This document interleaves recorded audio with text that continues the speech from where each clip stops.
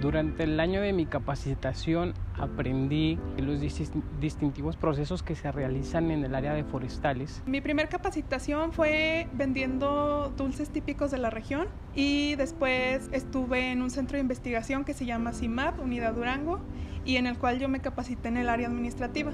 Soy ingeniero en desarrollo e innovación empresarial. Ingresé al programa de tandas ya que se me hizo una buena oportunidad de negocio. Yo decidí vender bolsas y yo decidí venderlos primeramente pues entre mis, mis conocidos, mis familiares y mis amigos. Y ya después yo decidí promocionarlas en, en páginas de Facebook. Decidí autoemplearme en la parte de venta de calcetines ya que yo fui comprador.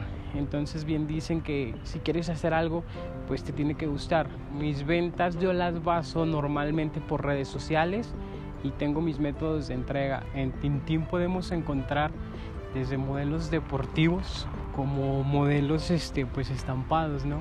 Pueden encontrarme en redes sociales, Facebook e Instagram como Tintín Calcetín. Yo no tengo una página en tal, solamente uso mi, mi, Facebook personal en los grupos de los bazares de aquí de Durango. Mi Facebook es Diana Carmona, ahí pueden encontrarme Hola, mi nombre es Rafael Alexis López Robles. Soy egresado del el programa de Jóvenes Construyendo un Futuro. Mi nombre es Diana Laura Carmona, soy de Durango, Durango y soy egresada del programa Jóvenes Construyendo el Futuro y actualmente soy beneficiaria del programa Tandas para el Bienestar.